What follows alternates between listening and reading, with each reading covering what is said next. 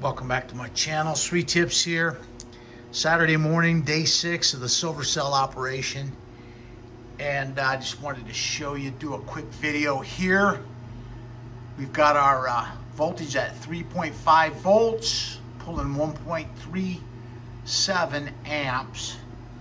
And I installed this spacer under this anode basket. And I think I may have solved our problem here. Let me get down in here and show you what I'm talking about. Yeah. Now that is looking much better. Notice how we're getting growth around the edges.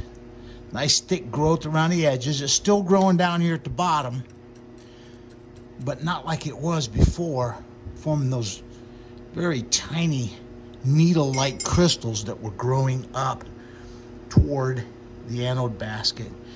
And uh, I think this is going to work well.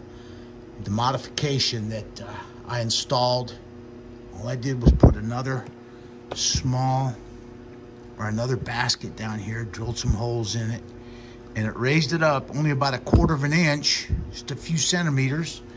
And uh, that seems to have solved my problem. Just wanted to post a quick video of that this morning. Thank you for watching.